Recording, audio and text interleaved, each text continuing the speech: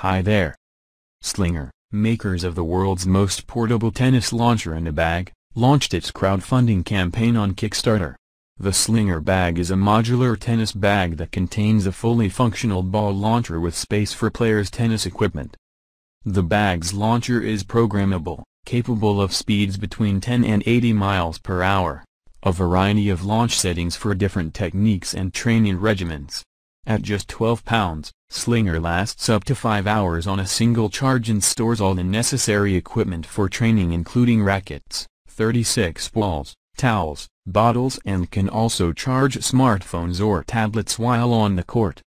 As tennis continues to grow in popularity, both pro and amateur players are looking for new and cost-effective ways to practice and improve, said Joe Calfa, CEO and founder of Slinger. With Slinger, we wanted every player to be able to work on their game or get in a quick practice just about anywhere, whether it's at the court waiting for your partner, at the park or even on your driveway. For competitive tennis professionals that need to be able to maximize their time practicing, even when on the road, this is the perfect solution, said Judah Honickman, director of marketing for Slinger.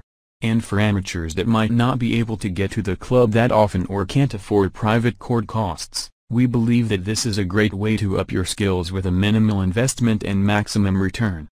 Slinger has been in development for more than 18 months and already has a fully functioning prototype currently being tested by tennis professionals. Thanks for watch us. Bye.